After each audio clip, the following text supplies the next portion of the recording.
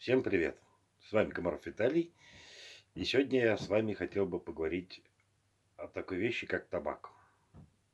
Я много снял видосов про табак, и ко мне стали приходить вопросы, какой табак курить, какой лучше, что не лучше, что хуже, ну и все такое. Вот я решил выпустить вот это вот видео и поделиться своими знаниями, тем, что я думаю об этом. Ну и начнем, значит. Сразу начнем с самосада. Самосад, ребята, это не табак. Да, это семейство табака, но это не табак. Он отличается своей легкостью производства. Табак он отличается, э, самосад он отличается внешним видом, немножечко, но отличается. Листы у него другие, заготавливается он по-другому. То есть самосад вы посадили, он у вас вырос, листы созрели, вы их порубали, посушили, все, готово. С табаком такое дело не проходит. Так вот, начнем насчет табака. Первое, что, конечно, все у нас любители покурить, это, конечно, вот сигареты магазинные. Что там пихает в них, хрен бы их знает. Что только я не слышал. То, что там и бумага рубленная, пропитанная э, смолой, и то, что производство сигарет делает, табак для них делается из э, морской капусты, как ни странно. То есть берут вот эту вот капусту, ее берут, высушивают, что-то через вальцы прогоняет, она становится тоньше, опять же пропитывают смолой. Ну, короче, делают их из чего, чего угодно, но только не из табака. И всегда добавляет какую-то смолу, и которую мы потом смолим. Вот. Это то, что продается в магазинах, независимо дешевые сигареты, дорогие сигареты. Все они практически по одной такой линейке идут. А что касается табака, вот здесь вот уже идет такая тема, такая обширная, такая. О ней можно говорить часами, если вот так вот табачники собираются и начинают там друг с другом делиться, у меня такое, у меня щекой, ну и все такое. Но в общем принцип остается один. Есть табак дешевый, который идет на самокрутке и идет в трубке тоже он. Но чем он отличается от дорогого? Дешевый табак, который вот стоит до 2000-2500 рублей за килограмм, это выращивается поле целое табака. Есть такое выражение, как э, средняя созреваемость продукции. Вот он в среднем созревает этот табак, ее берут комбайном, скашивают и, как правило, ложат на естественную ферментацию. Естественная ферментация, это год-два лежит – в кипах его постоянно то ли ворочает, то ли там поливает, то ли еще что-то. Вот это вот табак дешевый. Он, да, лучше, чем сигареты, но он гораздо хуже того табака, который стоит дорого. И, кстати, хочу сказать, вредность табака от этого, какой он там и как он выращен, и что там сделано, знаете, не убавляется. Нет разницы, что вы курите, сигаретные, э, сигареты магазина или же вот этот табак. Плюс к этому табаку, который вы покупаете за полторы, за две тысячи, за две с половиной тысячи, они хорошие, да, у них есть определенный вкус, с вами никто это не поспорит, но к этому нужно, как говорится, машинка для самокрутки, раз. Если вы курите гильзы, то это нужны сами гильзы. Плюс надо машинка то же самое для сбивания гильз. Они есть дешевые, есть дорогие. Пожалуйста, смолите. Вот. Что касается трубок, это вообще. Во-первых, трубку нужно уметь курить. Я пробовал курить трубку, у меня это дело не пошло. Я вот как-то остановился на самокрутках и на забивании гильз. Ребят, вы сейчас посмотрели, как у меня жена крадется. По. Вот. Так что сама трубка, она тоже стоит денег. Плюс к ней всякие нужны фильтра, всякие всевозможные чистилки, фигистилки, там еще что-то, там такой-то темный лес. Ну, не хочу я с этими трубками связываться. И вот этот табак, он, который вот для большинства нас, как говорится, у кого деньгами даже не особо так и шикарно, это самый такой вот хороший вариант. Но вам нужно уделять время на закрутки всего этого. То есть это просто так не получится. То есть, если вы привыкли, как говорится, сигарету достал из пачки, закурил, дальше пошел кончить, пошел купил. Так что не каждому это понравится крутить, там что-то забивать. Мало того, вы будете со стороны ощущать всякое такое. Когда молодой человек увидел, что я делаю самокрутку, он был так удивлен, сказал, сейчас же 21 век, неужто такое возможно крутить самокрутки? Вот так. А другой мне сказал, ты прям как из 90-х, тебе вот еще пойти бычки пособирать и то же самое, вот это вот позакручивать вот так вот. Такие вот сравнения есть, такие вот люди есть. Естественно, есть ну, люди, которым просто-напросто некогда этим заниматься. Так вот, я, например, вот с утра взял, встал, там накрутил или назабивал, сколько себе надо э, сигарет и без всяких проблем. Что, э, что касается трубкой, это еще больше проблем, поверьте мне.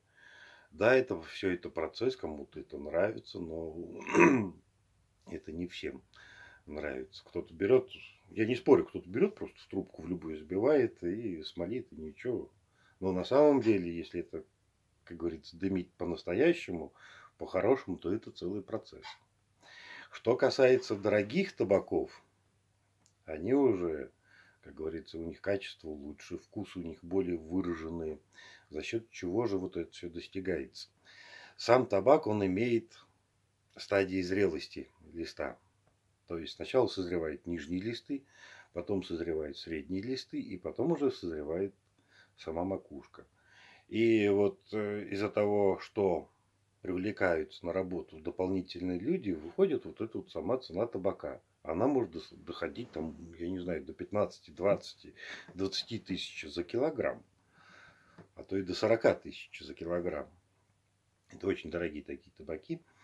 Так вот, там вот берет каждый рабочий, вот он идет, например, плантация табака растет, он идет и смотрит, чтобы лист определенный какой-то, там нижний лист, да, он, например, как я помню, он хорошо дымит.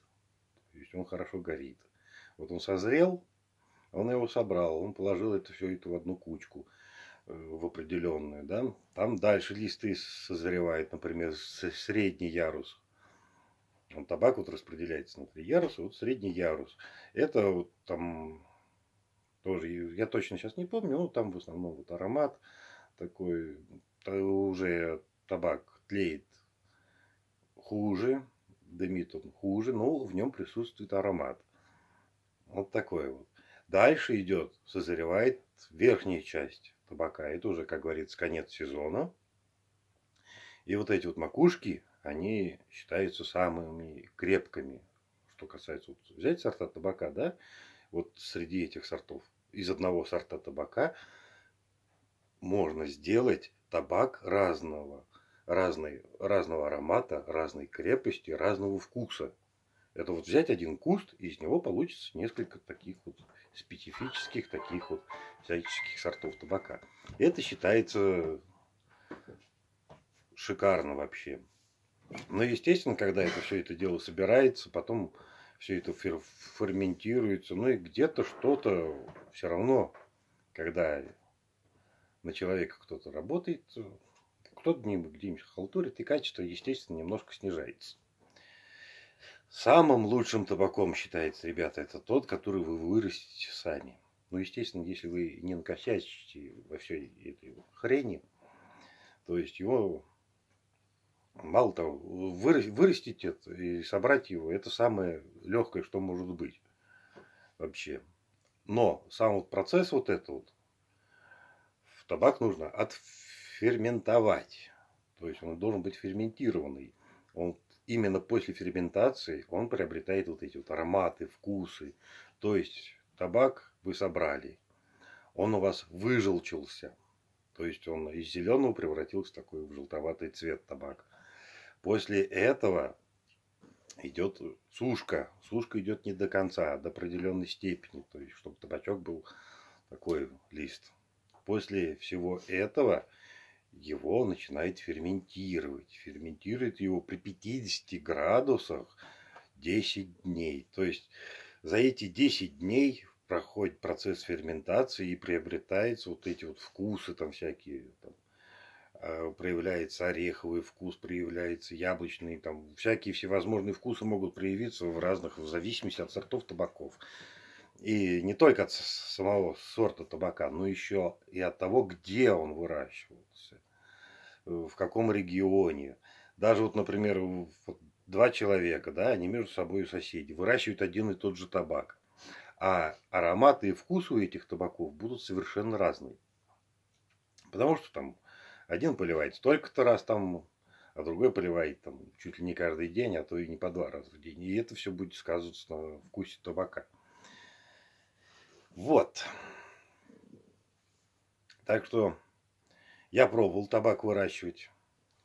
Это штука довольно-таки интересная. Табак получился изумительный, ароматный. Но, когда я все листы собрал, я первую сигаретку закурил, наверное, спустя полтора, а может быть даже и два месяца. То есть процесс составил весь где-то помещался в два месяца. Это Время было не дождливое, довольно-таки сухое, то есть табак сох, табак ферментировался. Вот так вот. Если вам, конечно, интересно, какие табаки лучше курить, как, что выбрать, у меня есть группа в Одноклассниках. Ссылочку на Одноклассниках я оставлю в описании. И там, ну, кто люди покупают табак, они голосуют за эти табаки. Там кто говорит плохой, кто говорит хороший, у каждого свое мнение. Так что выбирайте сами.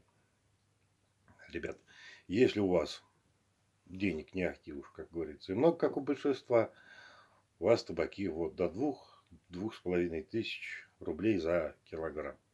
Это табаки хорошие в своем понимании. Их курить можно. Они гораздо лучше, чем магазинные сигареты гораздо лучше, ну, на мой вкус, чем самосад. Самосад, он все-таки как-никак, когда ты закуришь, по соседству кто-нибудь скажет, что ты за хрень такую куришь, что за трава такая. Вот так вот. Так что подписывайтесь на мой канал. Переходите по ссылочке в описании в Одноклассники.